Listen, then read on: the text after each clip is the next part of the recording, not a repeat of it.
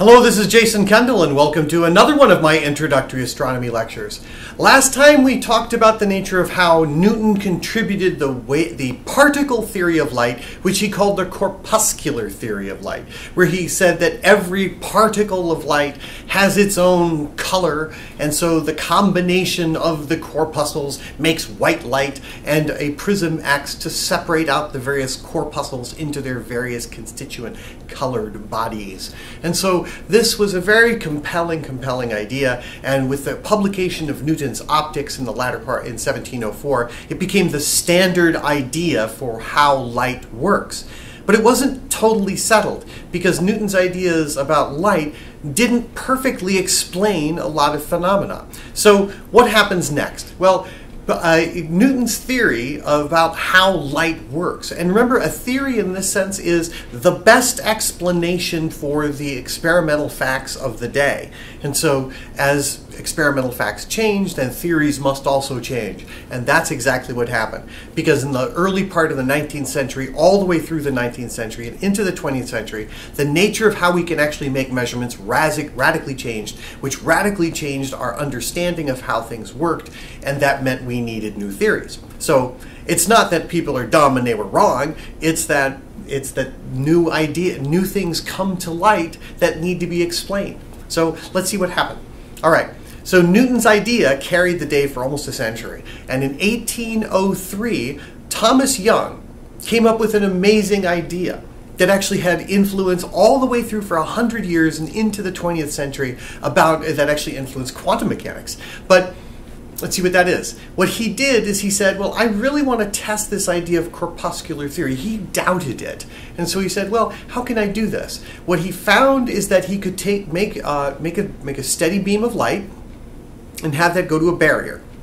And that barrier can have two vertical slits in it. Now, at, by 1803, he was able to make very narrow slits. The technology had advanced such that we could make slits, such that people could make slits not just a millimeter wide, but a thousand times smaller than a millimeter, a micron. Very tiny slits. And so these tiny, tiny, tiny slits where light was allowed to go through. So let's say you take two of these slits and put them very close together, say a centimeter or so.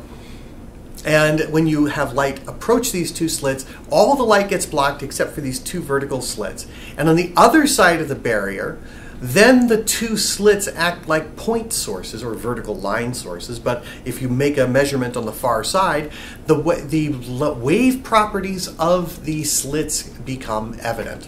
Now, if it was Newton's corpuscular theory, and you shoot a whole bunch of bullets, say now corpuscles are like bullets, and so the light source is like shooting bullets at something, the light goes to the two slits, and if it happens to, you can then draw a line from the source to the slit to the wall behind the slit, and that would be a straight line. And so rays and bodies like corpuscles must necessarily follow straight lines. And so if the corpuscular theory of, of light was correct, then this experiment should show two spots on the far side uh, at the same width as the two slits are and roughly the same diameter of the slits. Maybe there's a little bit of spread due to randomness, but we should expect only two slits. Something different was discovered what uh, what Thomas Young discovered was that there was an alternating band of light and dark and light and dark and light and dark and light and dark and light and dark all the way out.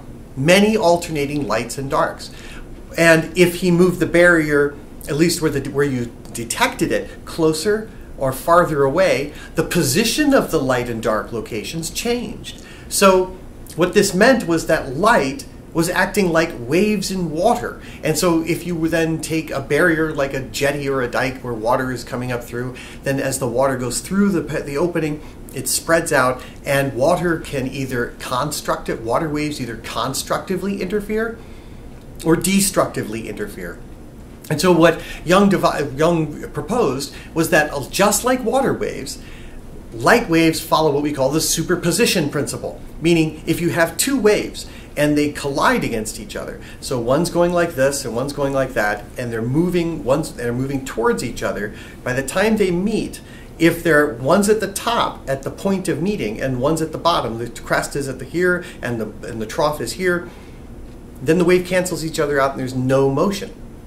But if the waves are, when they meet, they're both at a crest or both at a trough, then it doubles the height, depending. So if they're like this when they meet, then actually it's much deeper. Or if they're like this when they meet, so they come together and they meet, they rise much higher.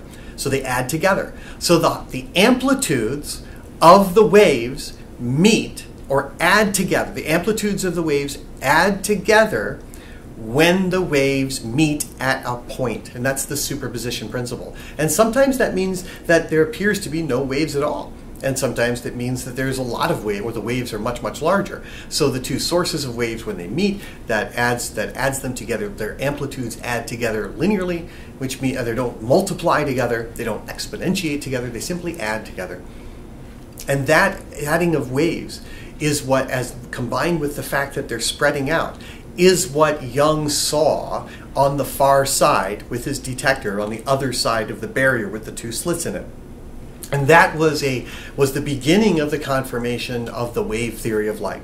All right, so we're not quite done with Newton's idea yet because Newton had some kind of other explanations for light. But let's go, let's keep going with this and see how long he can hang on. In 1816, just about 12 years later, uh, Fresnel uh, determined uh, that the, that light was essentially a transverse wave, and so did Thomas Young in 1817. And in 1817, Fresnel worked out the mathematics for diffraction.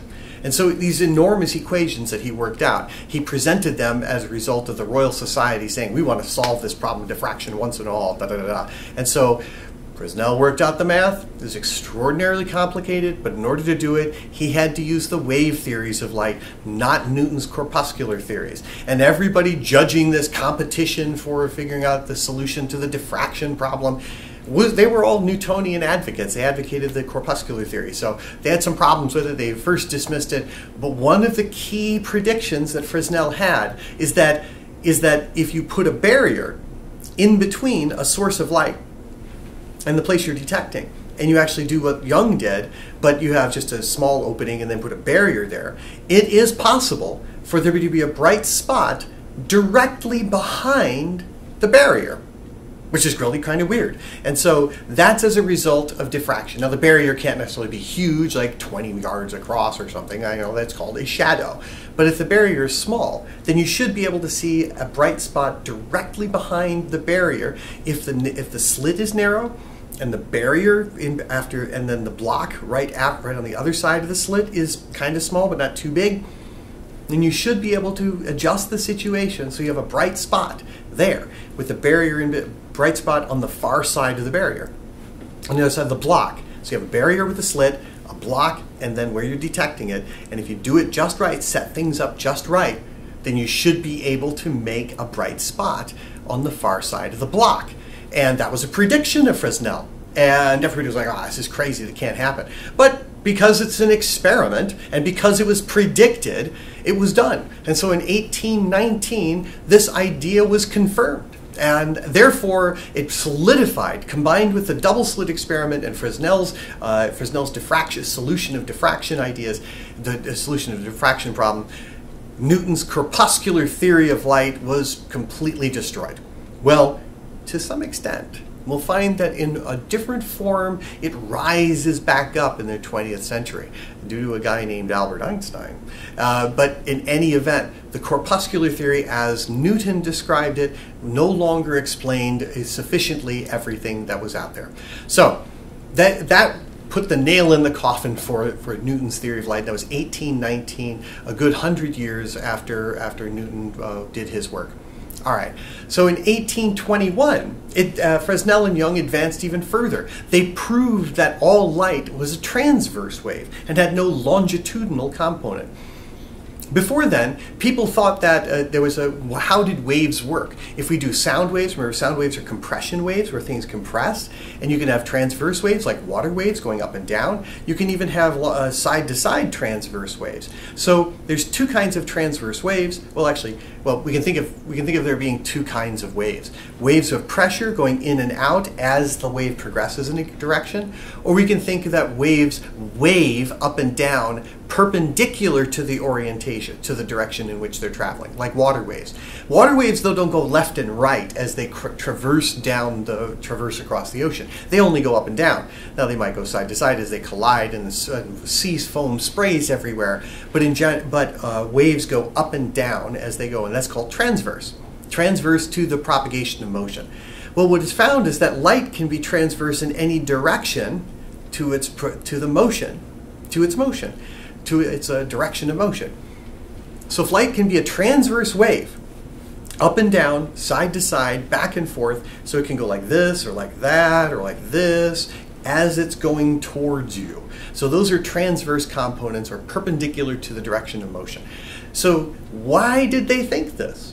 And that's because in 1821, Fresnel showed that this would explain the behavior of calcite crystals. Remember them from last time? Calcite crystals form double images, and if you take one calcite crystal and rotate it with respect to the other, the image behind the image of the thing on the far side disappears.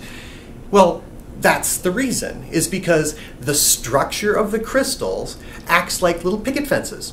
And what's a picket fence? Okay, so a picket fence is just a series of slats, a series of Young's double slits, a slits. And so light can only pass through the slit if its transverse wave is going in the same direction as the slit.